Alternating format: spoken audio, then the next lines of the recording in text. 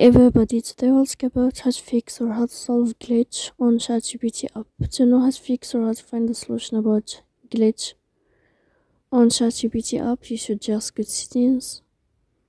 Here you can click on apps, default apps, app settings. Then this list you will enter to the window or to the app of ChatGPT. Here you can click on force stop and you can click OK. Then we'll enter to the window of storage. Here you can click clear cache. Don't click clear data because that can cause you error can delete your account.